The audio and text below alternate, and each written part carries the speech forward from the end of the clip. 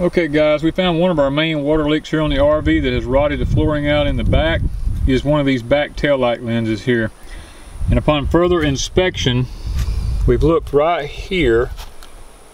I don't know if I'm gonna be able to get this in close enough to tell, but right there, there's no gasket around this anymore. There's a big gap behind here.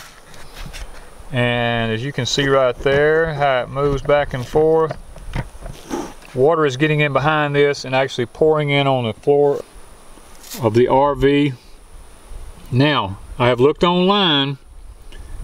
I have not found this light online anywhere. This light is 21 inches long.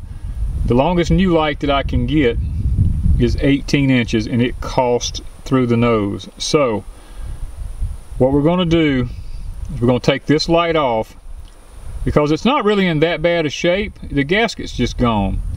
I am going to actually be trying a trick that I saw someone posted on a video about taking a yoga mat and cutting a gasket out to go around this RV light here on the back, the turn signals and brake light assembly. We're going to give that a shot and just see if it's possible to do and work. We've taken the top three screws out now. We're going to try to get the drill motor in here. What we have discovered is that the boards in the back side of the RV that these screws go into has completely rotted out and is gone. This light is literally being held in just by a little bit of screw in the fiberglass. So we got to replace the board that's inside the wall of the RV also. We're not going to go back with plain lumber. We're going to go back with a piece of treated plywood in there so that these will hopefully hold up and not deteriorate. Okay, we have it loose now. You see here, this is where the water damage is coming in. You see these holes here?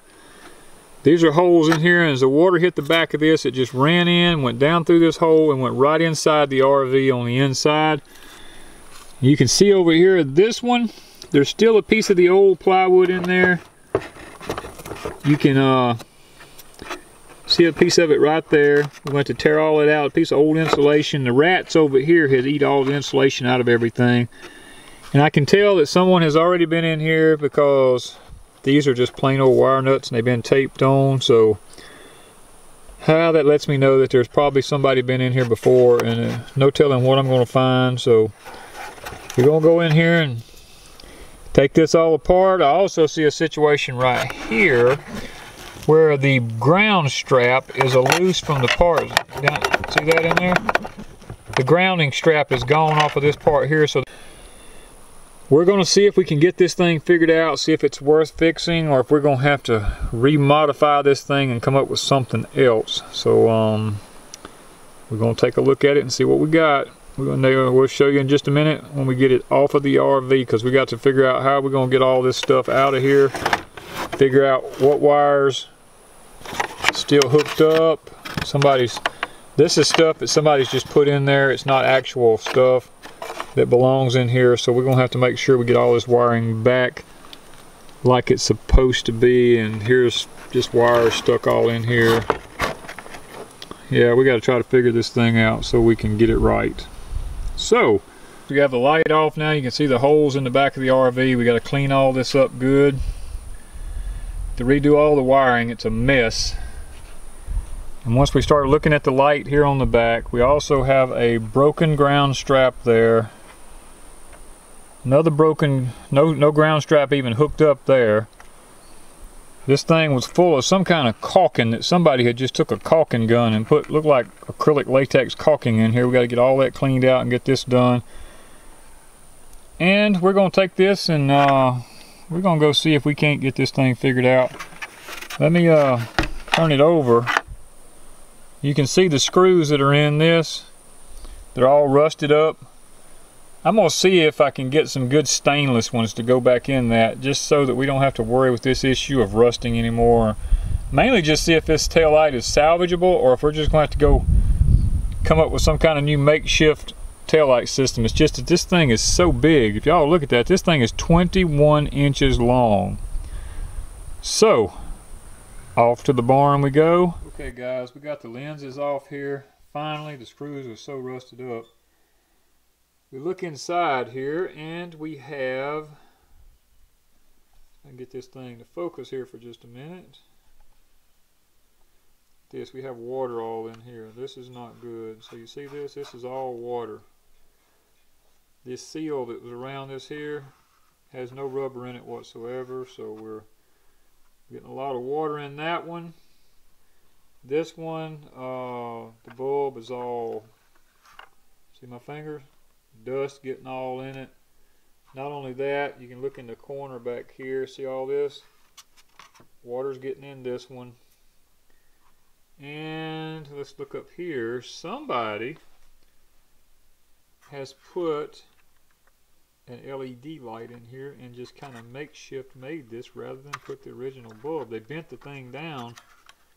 It had the original bulb in it and unhooked the ground off of the back of it.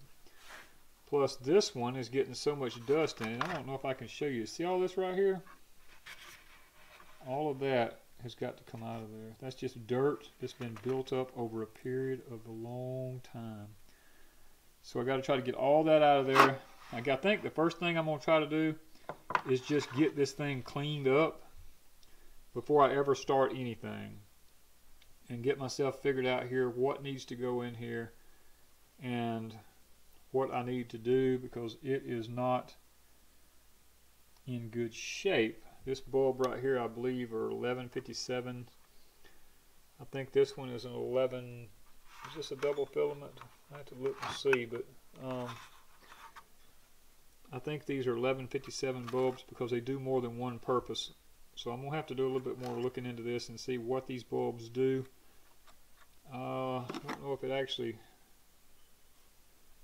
doesn't actually tell on this one what it does so I guess I'll end up getting the tester out and seeing what each bulb does when I get back up there to wire them up so that I make sure I get the right wire in the right place and get this thing done right because I'm so tired of everything's just been makeshift done. So we're going to try to do this thing back right. So hang in there with us while we get a little further along okay guys we're here I have taken the one that was messed up here and I bent the flange back up on it. I've done some looking into this. Okay, I went ahead and uh, the strap that was broke on the back back here, I went ahead and grounded this aluminum plate right back here back to it. Then I went up here in the corner and I put a screw right here to hold the aluminum plate in place where it wouldn't be flopping around anymore. And the screw that I put through there, which is right here, let me see if I can get this focus in a little better. Right there, I used a particular standard thread screw on here because what I've done is I took the LED light and I took a piece of strapping like you would strap up plumbing with and I made a bracket to go on this thing. I took a couple of washers and put a screw through it to hold it to this little bracket that plugs in the back of a standard outlet on an automobile. And what I've done is I've made this thing, if I can get it here where you can see it. Let me see if I can get this. I want to kind of show you what I'm planning on doing here. It may take me just a minute here because I am having to hold the camera and do this. So let me slide this thing around here. This is what the plan is. We're going to stick the wires back through here where they go.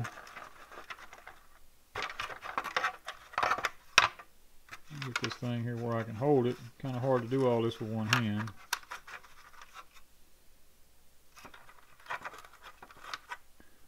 Alright, now I'm going to pull the wires through there kind of like that.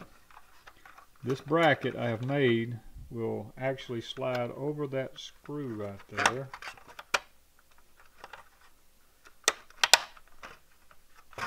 like so. Pushed down there. This, I have a nut here that is going to go on top of that. Oh, I got the wrong thing there. Let me see here. I got a nut here. I'm going to actually put on top of that. And we'll be tightening it down. And once it's tightened down, this little bracket will hold this LED light in place because this extra wire that was in here, it was hooked to the back of the RV, was actually fastened to the side of this right here as a ground wire because this was just flopping around in here. So I don't need the ground if I'm going to be using this aluminum plate as a ground because it will be grounded in the back. So we're going to take that nut and tighten it down and then we will have improvised our new LED light in the back of this uh, tail light lens here to try to get it remanufactured back to where we can actually use it again. So, okay, we have the nut successfully tightened down now in our new bracket here. Our piece of plumbing strap has worked perfectly fine to hold the LED light in place. This would be a way to fix it. We're going to be putting some caulking, some silicone caulking in these holes here once we know what wires go where and we're sure that this is a double filament bulb on this one, this one here only has one wire coming into it. Right here, this one only has one wire coming into it. So we've got to determine if we need double filaments in these and these. So we got to go do some testing on the RV to try and figure out um, you know, what light does what and which ones to hook up where before we actually silicone these holes up to keep the moisture out of here. So, time to start cutting the back gasket now and see if we can get that done out of the yoga mat. We'll get everything set up and then we'll show you what we do to do that. Okay, I've taken the yoga mat here now and I have laid it out on the table. And I've laid the tail light on it, left all the wires sticking out this side here. And you notice I'm leaving about a quarter of an inch overhanging all the way around this thing. I'm going to cut this side right here. I'm going to cut right down this side and I'm going to cut down the back side of it over here all the way out and I'm going to leave about a quarter inch overhang on that side and once I get this done then I'll I'll have my shape and then I'll turn it over and cut the back out of it and see if we can't make us a nice gasket to replace the one that's gone on the back of this 21 inch old-fashioned 1978 Dodge American Clipper RV motorhome light. Okay, we took our knife here that we have with a nice razor blade in it and we have cut the yoga mat loose all the way around it. Right here. Get this up. I'm going to move this out of the way. Lay it over to the side. Now we have us a nice rubber backing cut, quarter inch all the way around it. Next thing we're going to be doing is flipping it over and seeing exactly what we've got to cut out of the back to make this gasket work. Alright guys, we've got the gasket cut out on the back now. As you can see, we've got the, the yoga matting cut out. All the electrical components exposed now, so the gasket's cut. We'll have to be punching the holes in it for where the screws come through it at. And I believe this part of the project, as far as the gasket being formed, will be over. The Next thing is going to be going back to the RV and figuring out which lights in the back does what and which ones that this needs to hook to on here, you know, whether we need a brake light here or here or here or this needs to be the tail light, this needs to be the turn signal, this needs to be the brake light, whichever one. Uh, we got to make sure that when we put on brakes that the amber one here in the middle does not come on. Uh, we want to make sure that this one is just strictly a tail light and maybe you get a brake and turn light on this one and a brake light on this one and just a park light here. And it also has a backup light in the middle of this one here, if I'm not mistaken. You see this lens here, has to be cleaned up, has a clear lens on it. That is the reverse light. So I got to figure out which one wires goes to the reverse light when it's in reverse so that I know which light uh, will come on when I put the RV in reverse. So still a lot of work to do. This kind of stuff is kind of time consuming, but once I get one done, Uh, the other one should be a piece of cake to uh, actually get done because this is a learning curve. We may very well have to go back and buy the LED adapters and build a little stand to go in each one of these like I did the one on the end here. And if we have, that is if we have to put double filaments in any of these others so that we can uh, have dual purpose lights in them, we may have to go get the LED adapters uh, to go in there and a new LED light. I would rather have LED lighting because they just do so much better than the double filament and single filament bulbs. But we're going to get ready to um, go check out the wiring on the RV. That'll be the next thing. Okay guys, we automatically know with 12 volt systems on an automobile that the white wires are supposed to be your ground. What we're doing now is we're trying to find out which one is the park lights. Okay, we know that's not park light. That's not a park light. This is supposed to be ground. Ah, there we go. This one is my park light, so I've got to mark this one and mark down which one it is so that I'll know which one to hook up to the amber light on the back of the light assembly.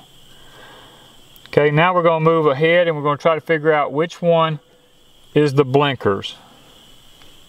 Okay guys, we know this one, that one is a park light. We're getting a little dim light here, so this must be the left blinker. The blinker thing is not blinking on the inside, so let's just check over here and see. Okay, nothing's coming on here, so we're gonna guess at this point that this is our blinker light. So let me go check and make sure that the right blinker, actually this one here is on here. That's not blinking. It's not blinking, but the park lights are on. So let me kill the park lights.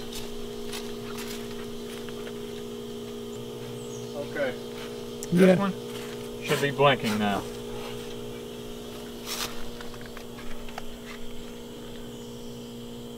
Okay guys, so this is our left blinker wire. I suspected that it was. But we have a problem because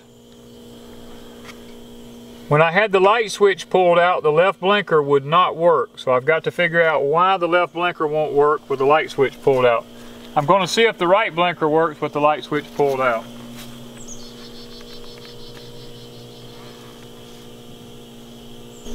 Okay guys, we're trying to figure out which one's the reverse light. We've tried them all so far with no results on all the other lights. Let's check. Okay. This is our reverse light right here, so we know that automatically. So we've got them all figured out. We just got to figure out the deal with this wire over here with it being a tail light and a turn signal at this, a brake light and a turn signal at the okay, same guys, time. Okay guys, I want to show y'all something here that I've done. Uh, I've cut a piece of plywood. They had a piece of plywood originally inside the wall here so that when you screw the tail lights on, the screws go through the fiberglass and into a piece of plywood. But the one that was back here, because it had gotten wet, you know, I showed had fallen out. And I've just put this one in here. It has three holes drilled in it. And we'll show you from the outside, those three holes are for the wiring to go through. And I silicone this in yesterday, and I've got these little sticks here that was kind of help holding it in place till the silicone dried. We're trying to get all this stuff put back so we can get this thing literally dried in before we actually start working on the inside of it. Some of these, you'll have to excuse me camera wobbling here. I had to put this stuff in extremely tight to hold it. But this is the piece of wood, as I was talking, telling you, you can see the holes in the back of it there. They're kind of like there's a hole here and a hole here, and there's one in behind here. That's where the wiring from the lights will come into, to these wires in here. Now I have personally taken inside here and labeled each set of wires. I took my tester so I could figure out what wire went to what so when I hook all this stuff back up it will uh, it'll work properly because a lot of this stuff was not hooked up properly from the outside after I got the light out and got to realizing whoever did the lights on it had stuff hooked up completely wrong. Uh, it's a wonder the lights even worked on it. But we're gonna go outside now and we're gonna take a look at the outside and I'm gonna show you how I'm going to put the light back into this thing. All right, as y'all can see, I have put some tape over these holes here because it was raining the other day and I, I didn't want the rain to get in the, back in the RV. So I, I put this Gorilla tape over it. That stuff, that stuff will stick to anything. I'm gonna tell you, that is some good tape.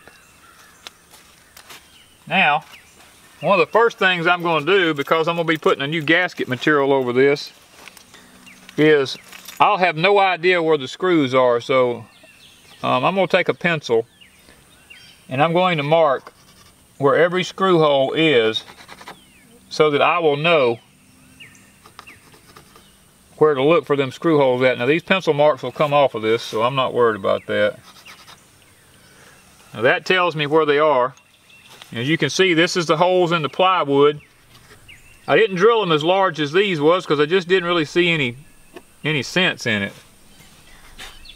So what I'm going to do, I'm going to take some sensor safe Supreme Black gasket silicone material. Okay, I'm going to take this silicone material and I'm going to actually go along here and I'm going to put it, all this is for, I'm just using it to hold the gasket in place. I'm not going to put a heavy bead of it on.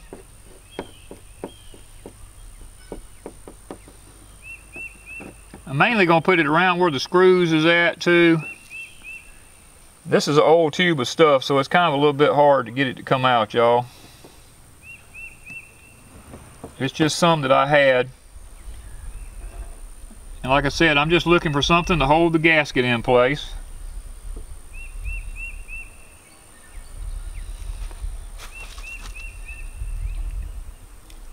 There we go. There was a wad of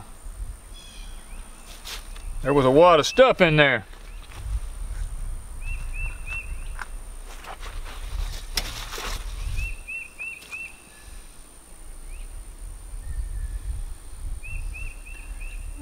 If we get any on here anywhere, we'll have to clean it off. Yeah, that's a lot better.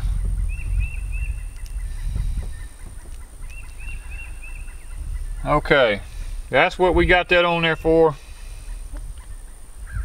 Is to kind of help hold that gasket down. Might put a little bit more over here. I just want to make sure if it squirts out, when it dries, we'll cut it off.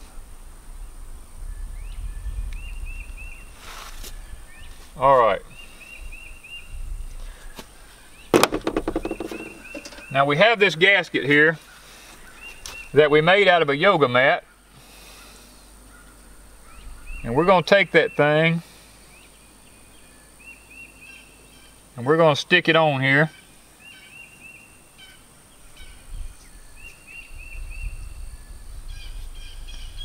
Because we could not find a replacement light so we're having to reuse the one that we have.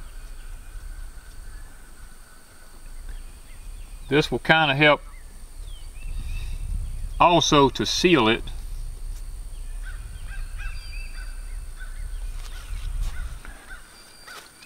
Gonna try to get it squared up a little bit. Cause I don't know exactly yet where the light and how it's going to fit because I have to line We have to line these screw holes up with those holes there because we don't want to drill no new holes in it. I don't know just yet if the gasket is right where it needs to be, but we're going to go ahead and start off by trying to start fishing some of these wires back into the RV. And if you'll notice, I've clipped some extensions onto them because the wires that they send with this stuff is just too short. And then on the inside, we're gonna finally silicone all this stuff up eventually. I just didn't do it right now because it's gonna make such a mess trying to handle everything. I'm gonna do it from the inside.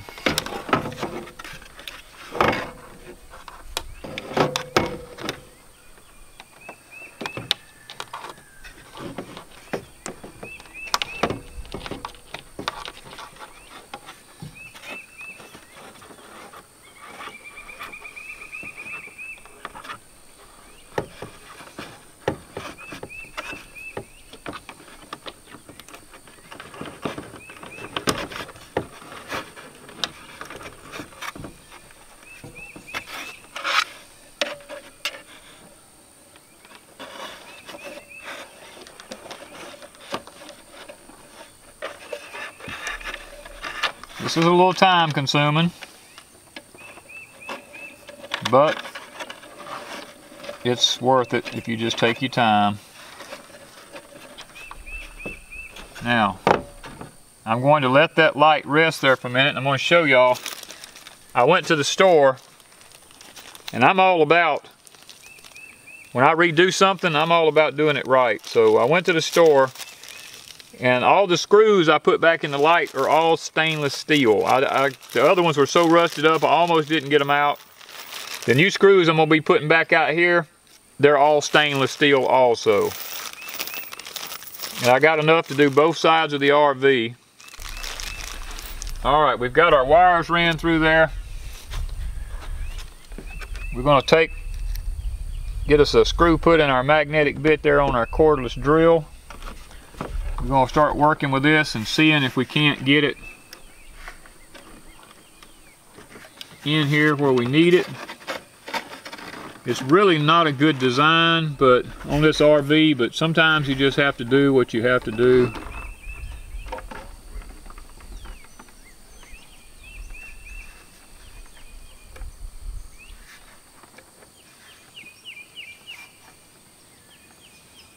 Looks like we're pretty much in line there. If we can just find the hole.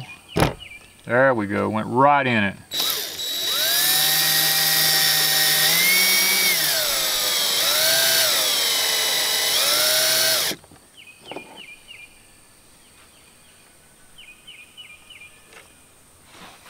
get over here. See if I can find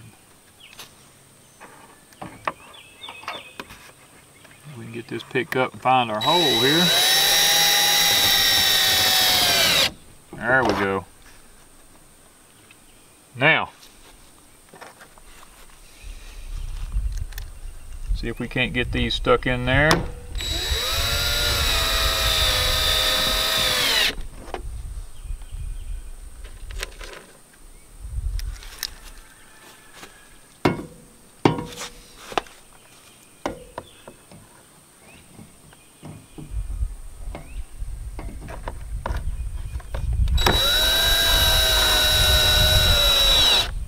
Don't want to over tighten them.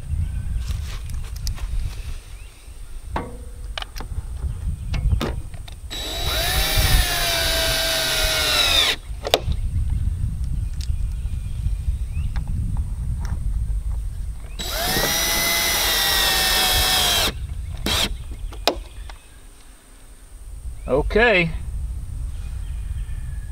Looks like we have got it. And these are stainless also. I put them back new stainless after I washed and cleaned all this up. I put new gasket material in behind each one of these lenses to kind of keep the water out of that. So we're gonna get in there and hook some wires up and we're gonna see if these all actually work now.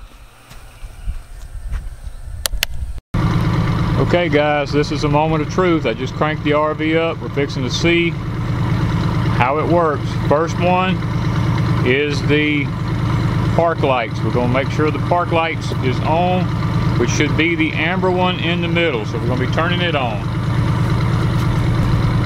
All right, we see we've got the one in the middle has come on like it's supposed to.